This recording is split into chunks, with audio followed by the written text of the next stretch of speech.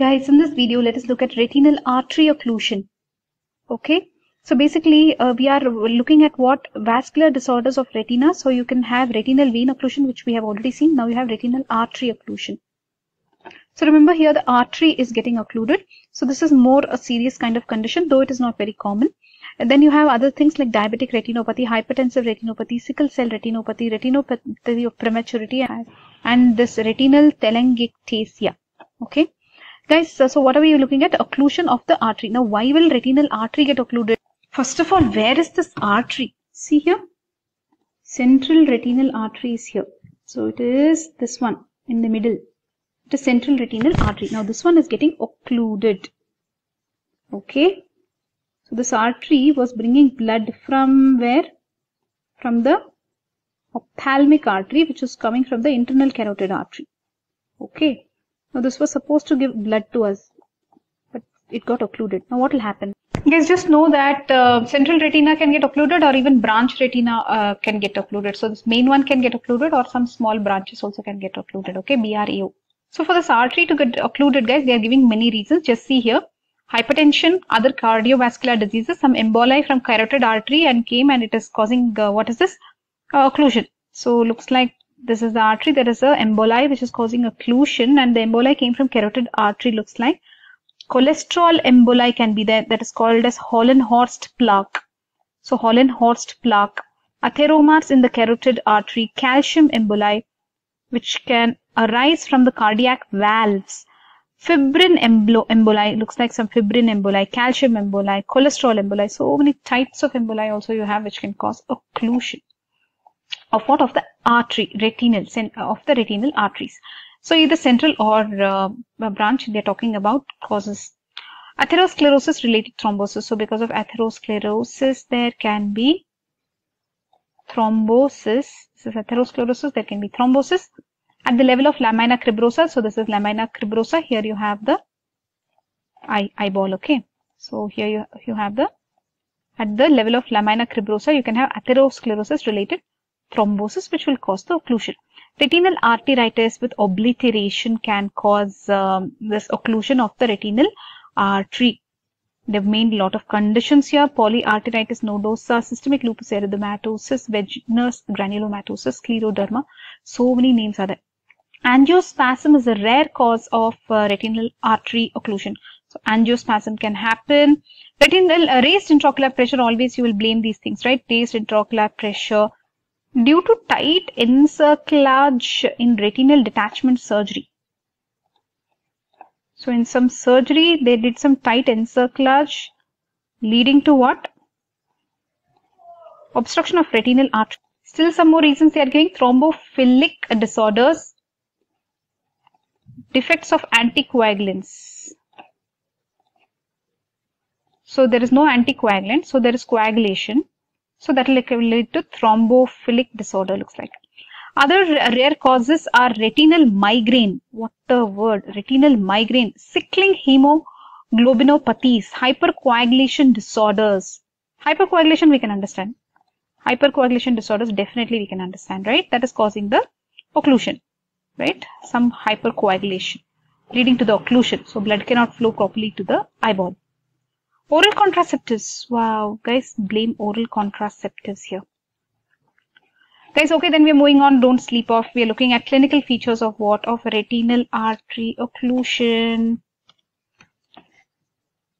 How's it going, people? What are we looking at? We're looking at retinal artery, retinal artery occlusion. There are two types in the central retinal artery occlusion and branch retinal artery occlusion. We are focusing more on the central retinal artery occlusion clinical features, what will these people have, guys? So they can have either the central retinal artery occlusion or branch occlusion. Yes, we know this. Cilio-retinal artery occlusion. One more thing is there now. Cilio-retinal artery occlusion. Okay, we'll write that also then. Yeah, we have written that here. Okay. So this one is more common in males, they are saying. It may be unilateral or it may be bilateral rarely. Only 1 to 2% is uh, bilateral. So let us say mostly usually unilateral you can see okay even crvo was un unilateral if you remember but diabetic retinopathy both the eyes Now coming to central retinal artery occlusion, we are looking at CRAO now in detail. Forget about BRAO and all for now. Uh, central retinal artery occlusion, what are the symptoms? Sudden painless loss of vision, yes, occurring over seconds. Just within seconds, this person loses eyesight. Okay. Pa patients may, be, may give history of transient visual loss. So there can be transient visual loss also. In the past, that was happening kind of thing. Okay. Visual acuity is remarkably, markedly reduced, less than 3 by 60. That's really less, right? Less than 3 by 60, 60 becomes what? The definition for blindness, right? WHO, social blindness, NPC, BVI blindness, everything is 3 by 60 only if I'm not wrong. Right? So marked, markedly reduced visual acuity. Direct pupillary reflex is absent and relative afferent pupillary defect is positive. Wow. So here also you're having relative afferent pupillary defect. Remember in ischemic CRVO also we had relative afferent pupillary defect. Here for CRAO they are telling relative afferent pupillary defect is positive. Direct pupillary reflex is absent.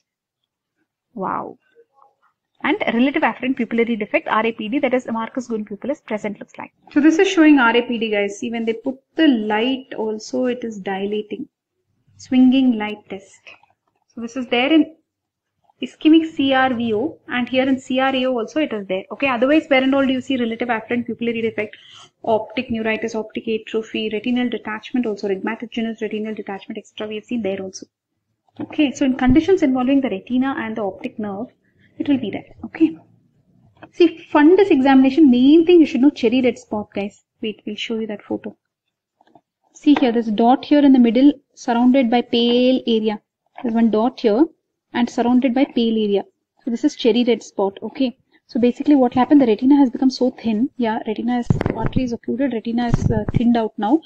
Uh, no blood supply, so it is thinned out. Now through that, what is happening, the choroid, vascular choroid is shining through the thin retina in foveal region.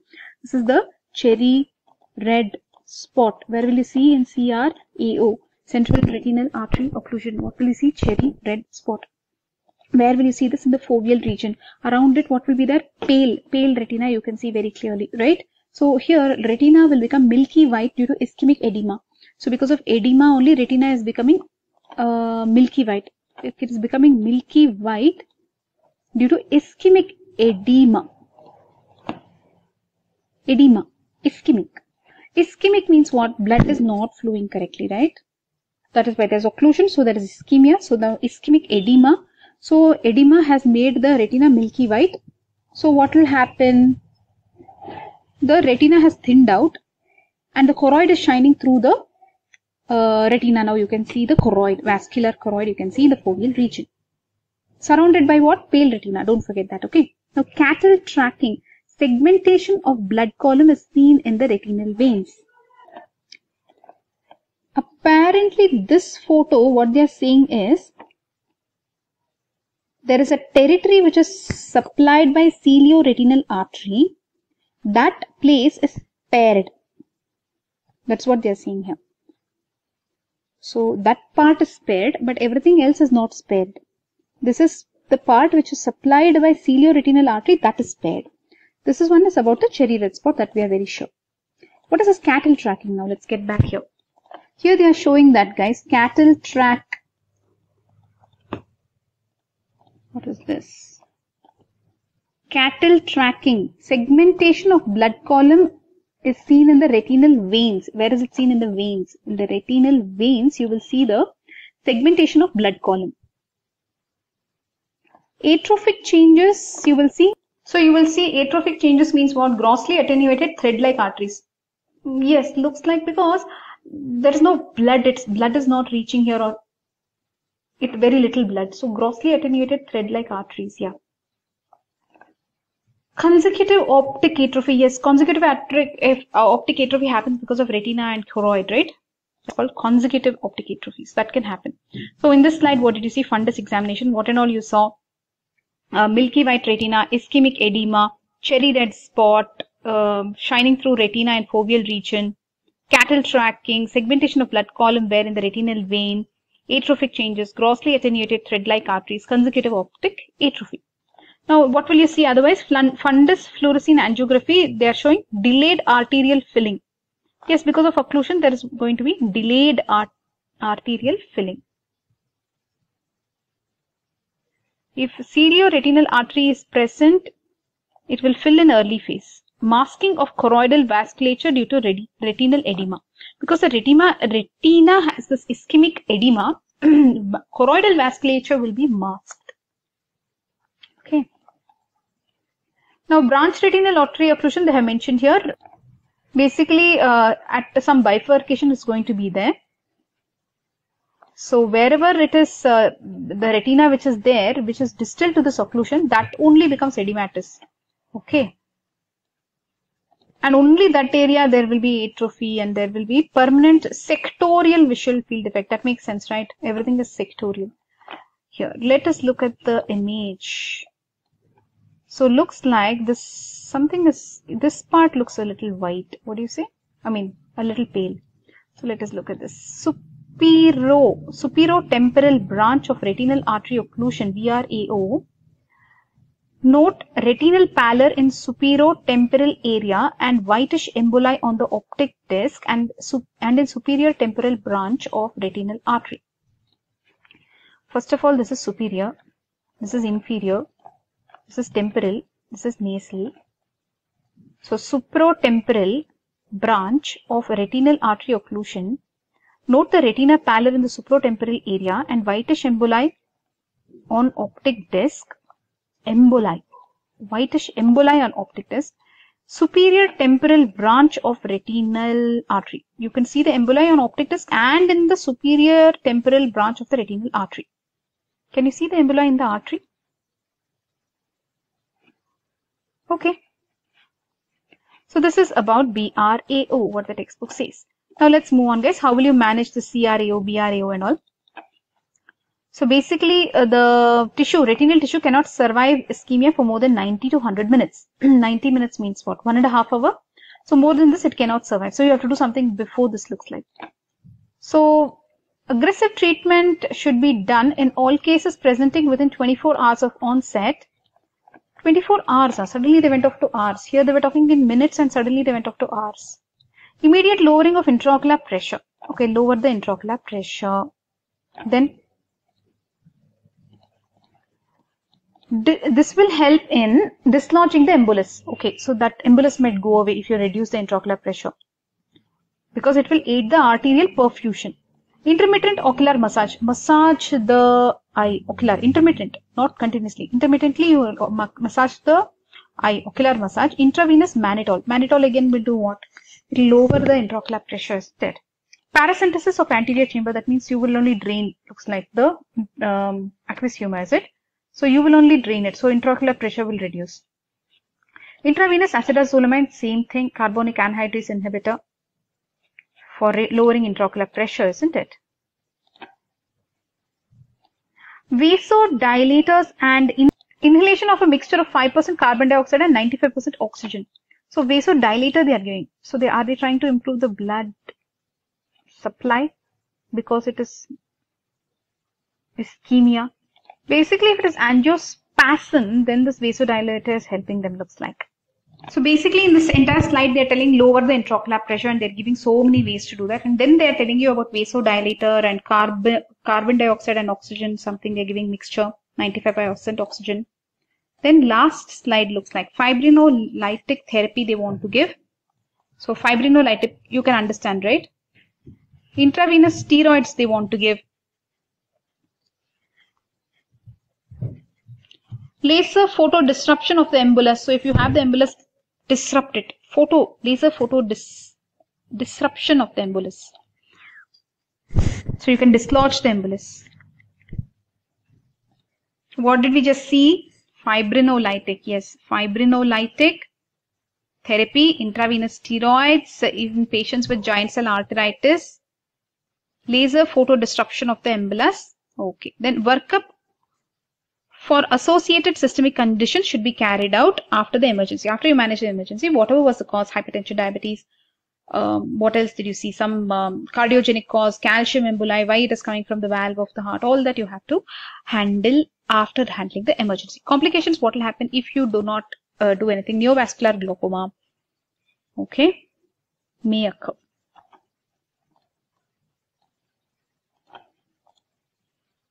Guys, let's take a recap of CRAO. CRAO is coming under uh, retinal artery occlusion. So basically it is coming under vascular disorders of retina. You have central retinal artery occlusion, branch retinal artery occlusion, etc. Here what is happening basically, uh, the artery is getting occluded because of the emboli, etc. Do you know where we are? Look at this. This is the central retinal artery which is coming from the internal carotid artery and then the ophthalmic artery. this artery got occluded. So because of which now there is no blood supply. So retina will become pale. No, definitely. And it will have ischemic edema. So it will become very thin. Okay. So why will that happen? Why will this artery get occluded? Because of emboli. What type of emboli? Cholesterol emboli. That is called as Hollenhorst plaque. Then you have um, atheromas in the carotid artery, calcium emboli from the car cardiac valves, platelet fibrin emboli. Okay, all these three types of emboli. Then what else? Atherosclerosis related thrombosis, then uh, angiospasm. In angiospasm, if they will give treatment, what vasodilator, yes.